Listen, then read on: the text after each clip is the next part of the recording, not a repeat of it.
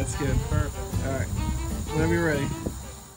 Hello and welcome to RF Venue's backyard. We are here with some buckets, uh, a hose, and some unwilling participants to teach you about antenna polarization. Because we can't see radio signals, it is often difficult to remember that they aren't just shooting off into space randomly, and they are instead polarized. Uh, polarization works best with your system when the polarization of your transmitter matches the uh, polarization of your receiver. For instance, your wireless mic and your receive antenna.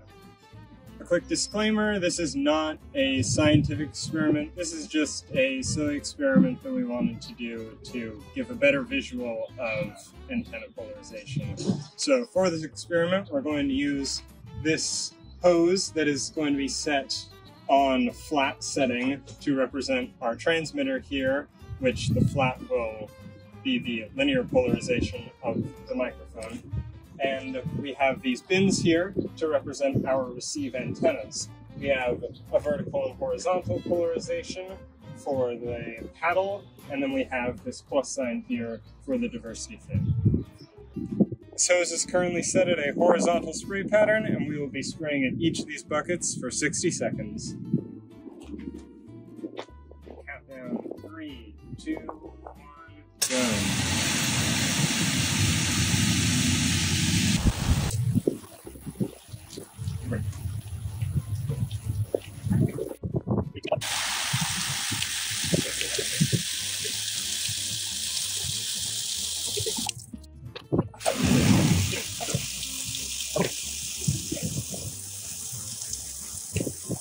Now we'll measure the amount of water that we've accumulated to see the signal that we've received.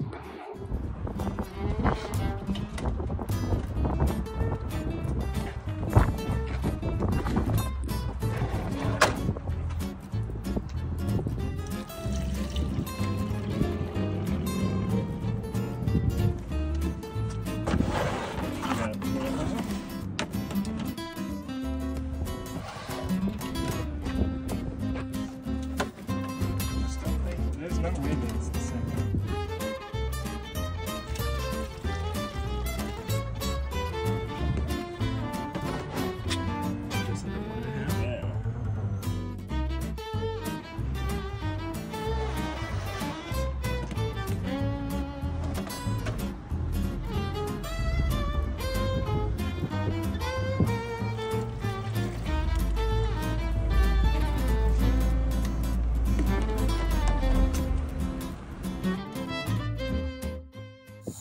We hope that this made antenna polarization make a little bit more sense, and we hope that you'll consider it for your next event.